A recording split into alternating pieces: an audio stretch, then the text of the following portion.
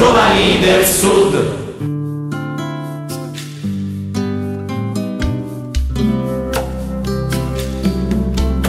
Il fascino del sottosuolo napoletano è di indubbia attrazione per tutte quelle persone che desiderano conoscere la propria storia e le radici della propria tradizione.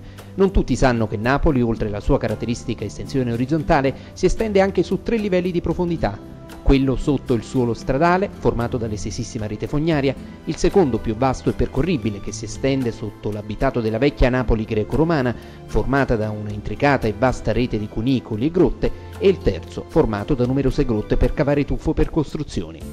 L'Associazione Culturale Ariganda ha promosso ed organizzato una visita teatralizzata nel tunnel borbonico di Napoli, un lungo tratto sotterraneo che a metà dell'Ottocento Ferdinando II di Borbone commissionò all'architetto Enrico Albino per collegare Piazza del Plebiscito con Piazza Vittoria, passando al di sotto del Monte Echia. Lungo il percorso intercettò la rete di cunicoli e cisterne legate all'antico acquedotto del Carmignano che serviva la città di Napoli ed in particolare la zona di Pizzo Falcone. Il tunnel costituiva una possibile via di fuga verso il mare per la famiglia reale e per raggiungere facilmente la caserma Vittoria di Via Morelli.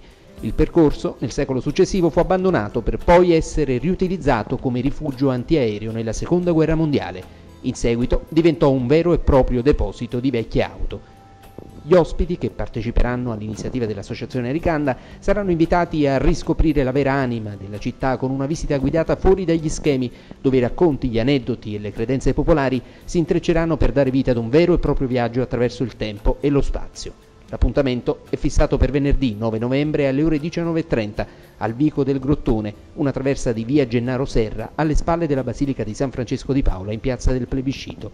L'inizio della visita è previsto entro le ore 20.